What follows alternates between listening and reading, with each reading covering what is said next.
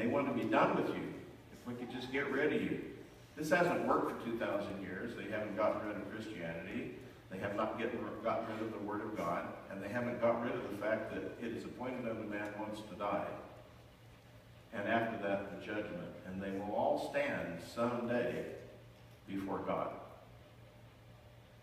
People deny that. They tell, try to tell me there is no God. They try to tell me that uh,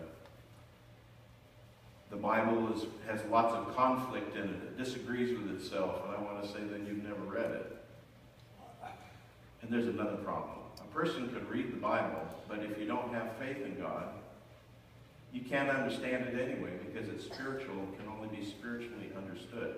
So when people want to argue with me in that way, when a person who is an intellectual person, an educated person, disagrees with me about God, I want to say, well, I was that way too. I didn't, I didn't believe the Bible. I didn't just say, oh, whatever you want to tell me, I'll believe it. No, I, I didn't do that. I had to search it out. And I searched it out by having someone read the scriptures to me and explain it with scripture. And read the scriptures and explain it with another scripture. This went on for two years. Finally, the Holy Spirit got me under conviction and I realized there is a God. And I gave my life to Him. And He changed my life and came into my life. And that's when I realized it's not a self-help course. It's by grace through faith in Jesus Christ is how you come to salvation. And when Jesus came into my life, he never left.